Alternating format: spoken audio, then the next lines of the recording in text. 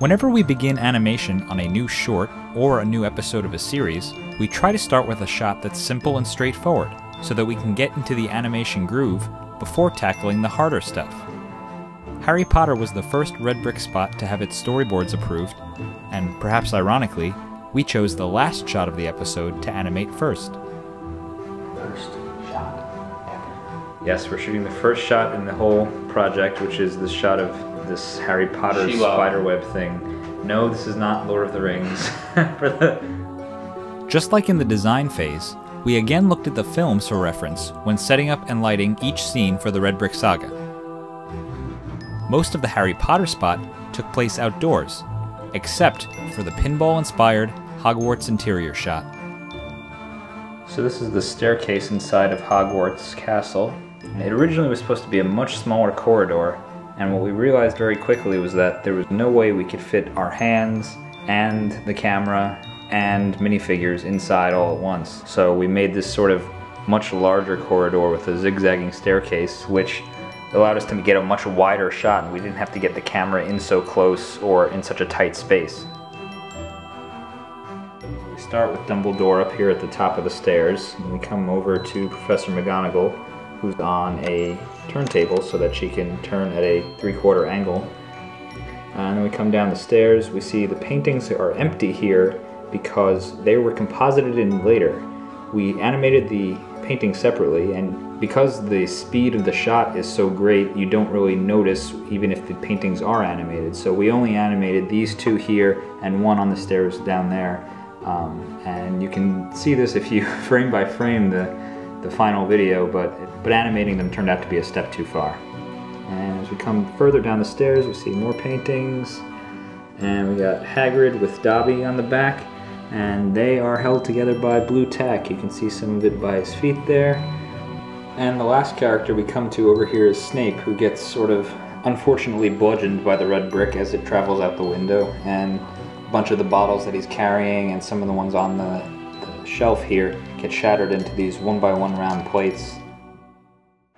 But lo, on a Tuesday night, the last shot of Harry Potter was finished at 10. yeah, I can't even read that. 10 20. 20 p.m.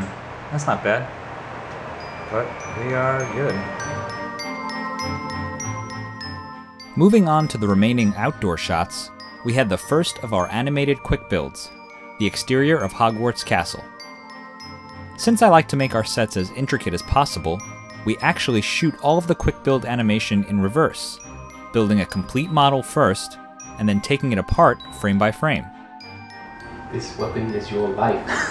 Try not to lose it. But no weapon is your whole life. Cut to one falling.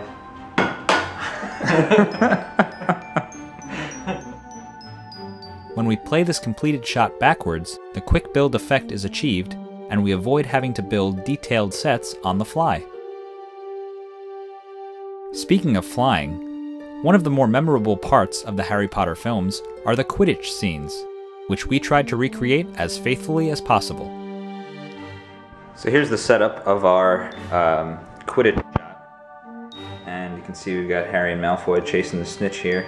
And this kind of worked in the same way that some of the other videos like Adventures of Max, uh, the Racers episode, worked where there's different rows of like parallax scrolling. So each one moves at a faster rate and slows down as you go back. So this moves four studs per frame, this moves two studs per frame, this moves one stud per frame, and this moves just whatever infinitesimally small amount per frame.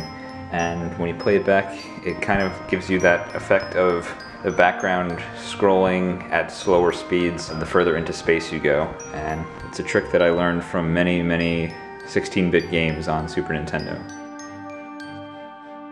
Although stop motion is our method of choice, some kind of post-production work is always necessary on our projects. Whether it's adding things to a shot, like the paintings in Hogwarts Castle, or removing things, like these Quidditch supports.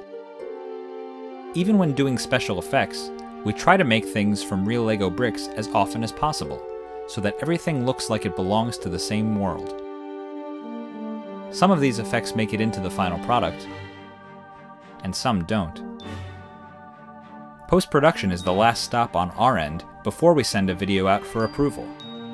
Once the Harry Potter episode was approved, It was sent off to the sound designers, and we moved on to animating the next Red Brick episode Star Wars.